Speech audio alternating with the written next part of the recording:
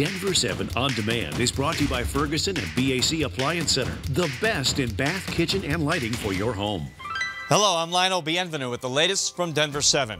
On Thursday, we got our first glimpse of Governor Jared Polis and his ambitious agenda during the State of the State address.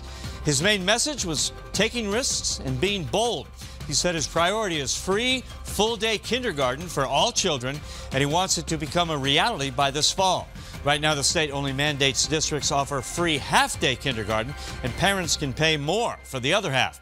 Also on the governor's agenda, health care reform, tax reform in terms of leveling the playing field to make corporations doing business in Colorado pay more, and he's ready to make sure Colorado is 100% renewable energy by 2040.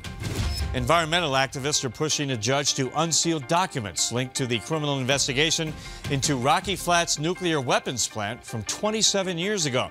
They want to audit the investigation to determine if the refuge portion of the property is safe for recreation and unrestricted exposure.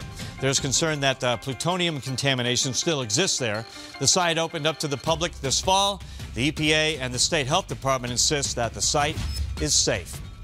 Friday, talks continue between teachers and the Denver Public School District. They have until next Friday to come up with an agreement. That's when the contract with the teachers union expires. Teachers have been working under a 10-month extension since last March. If there is no agreement by next Friday, the district will ask the state to intervene. Teachers aren't legally allowed to strike if the state is working on a deal. If the state chooses not to intervene, teachers could go on strike. And from the First Alert Weather Center, let's send it over to meteorologist Stacey Donaldson. Well, we have snow headed our way, and it's going to be affecting us all day on Friday. This is our First Alert Action Day. Afternoon highs going from 60s on Thursday afternoon to 30s for Friday afternoon. Then that storm moves out, and we have lots of sunshine over the weekend. Temperatures in the mid to upper 40s, 50s to start next week. Stacey, thank you. This has been your Denver 7 On Demand update. Thanks for joining us. Check back here later for another update and download the Denver 7 app for breaking news and alerts. I'm Lionel Bienvenu.